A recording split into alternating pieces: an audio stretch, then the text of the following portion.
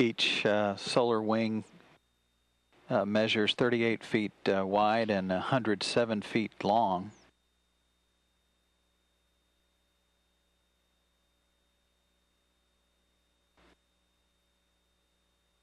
Each uh, blanket has 84 panels, and of, of which 82 are uh, are populated with solar cells. Each one of the panels contains 200 solar cells.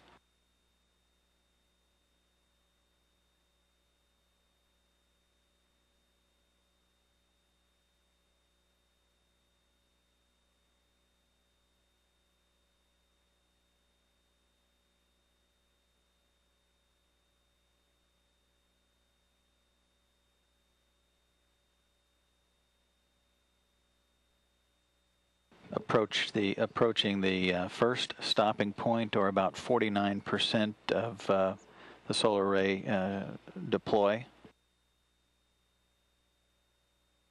And the crew has been given a go to resume the deploy of the uh, port solar array.